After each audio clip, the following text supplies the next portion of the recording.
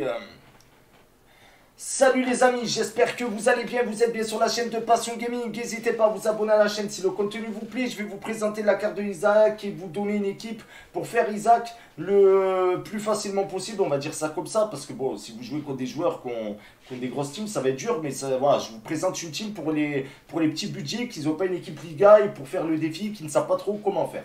Donc c'est parti, adresser 300 décisifs dans le match amical FUT Live. Lien la Liga, il faudra adresser 300 décisifs dans le match. Sans décisif, beaucoup me demandent, même si pour moi ça paraît facile, un centre décisif, c'est qu'il y a un centre, et pour que le centre soit décisif, c'est que, c'est que le mec, par exemple, met, met la tête et qui marque, pour que ça soit un centre décisif.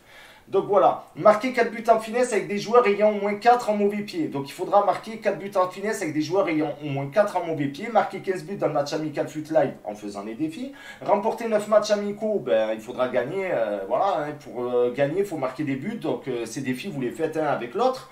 Et marquer 11 matchs différents avec des joueurs ayant au moins 4 de gestes techniques. Donc le mieux, c'est d'avoir au moins des joueurs dans l'équipe qui ont des doubles 4. Comme ça, vous pouvez combiner le défi 4 de gestes techniques avec celui de 4 de mauvais pied et vous n'allez pas vous dire dans votre tête, oh putain, c'est lui qui a 4, euh, je tire avec lui, je fais ci avec lui, vous voyez ce que je veux dire?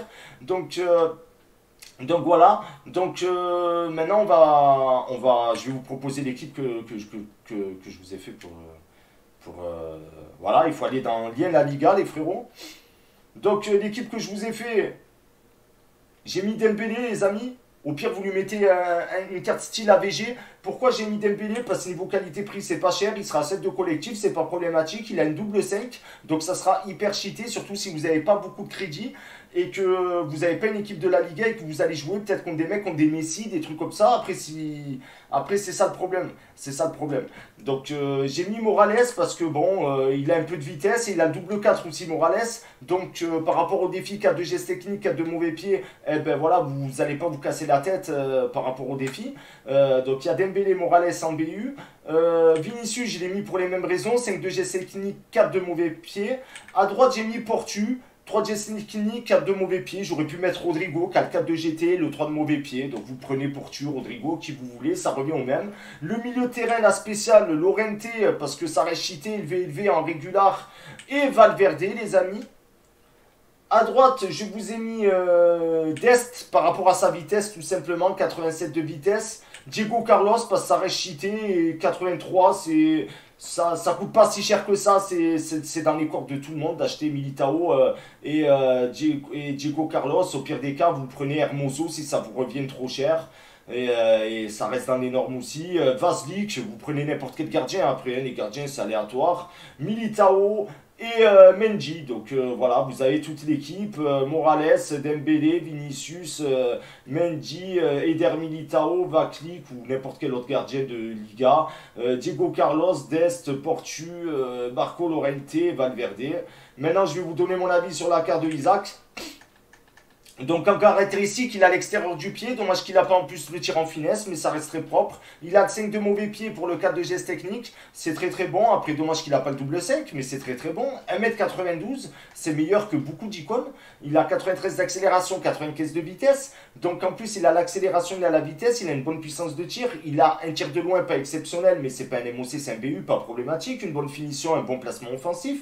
La vision de jeu est plutôt exceptionnelle. Une bonne passe courte, manque de passe longue un des petits points faibles de sa carte. Il a l'agilité, manque un petit peu d'équilibre dû à sa grande taille d'un mètre 92. Donc pour ceux qui disent Isaac sera meilleur que Dalglish in-game, parce qu'il y a un abonné qui m'a dit ça, à savoir Dalglish c'est pas du tout le même, profil, et Dalglish il est plus petite taille et par rapport à la fluidité in-game, au body type, ça peut, ça, on peut voir une grosse différence in-game. Donc euh, ne vous fiez pas toujours au stats, il y a le poids, il y a la taille aussi qui fait. Il a une bonne conduite de balle, il a un bon calme, euh, l'endurance est très propre, force, agressivité, en plus il a la force, l'agressivité, il a l'agilité, même s'il manque un petit peu d'équilibre est-ce que c'est une très belle carte? Oui, c'est une carte qui pourra jouer titulaire dans votre team, qui pourra jouer remplaçant dans votre team. Tout dépend des, des BU que vous avez. Donc c'est un défi que je vous conseille à faire et encore plus si vous avez une Liga. Et même si vous n'avez pas de Liga qui vous sert strictement à rien, ça peut servir pour un SBC. En tout cas, c'est une très jolie carte. Et je vais quand même donner un petit, un petit avis sur Carvalho, même si je ne vais pas faire la vidéo dessus, parce que c'est du clash équipe.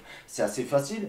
Euh, il n'a aucune caractéristique. Le point faible de sa carte, c'est qu'il a un rendement moyen-moyen. Il a 3 gestes techniques. Par contre, 4 de mauvais pieds. C'est super pour les interceptions et la relance. Voilà, après, il a un rendement moyen-moyen. À savoir que c'est une carte gratuite, 80 d'accélération pour 87 de vitesse. Le, il fait 1m87, il est, c'est un profil un petit peu lourd in-game Carvalho. Et le problème, c'est que vous ressentirez d'abord la, L'accélération, et son accélération est plus basse que la vitesse, ça peut être problématique si vous jouez contre des vroom vroom. Quand je dis problématique, ça reste dans la norme. Il a quand même 87 de vitesse pour 80 d'accélération. C'est voilà, c'est pas un tracteur. Mais voilà, euh, c'est une jolie carte. Après, il a un rendement moyen-moyen. Ça, c'est le truc le plus problématique. Mais ce qui est bien, c'est qu'il est portugais. Il peut rentrer avec Renato Sanchez. Il peut rentrer dans plein de teams.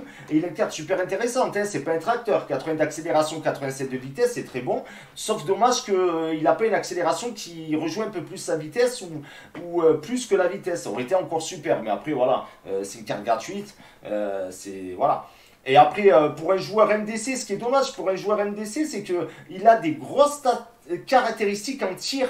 Et, je trouve que c'est dommage parce que c'est un pur MDC, il a un rendement moyen-moyen. Euh, il a un rendement moyen-moyen. Et ce qui est dommage, c'est qu'il a des grosses caractéristiques en tir.